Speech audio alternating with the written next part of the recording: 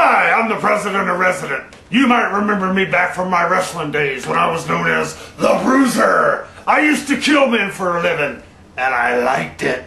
Now I'm the president of Resident, and around here, everybody does what I say. Yo, tell me what to do. Oh yeah! Let's go!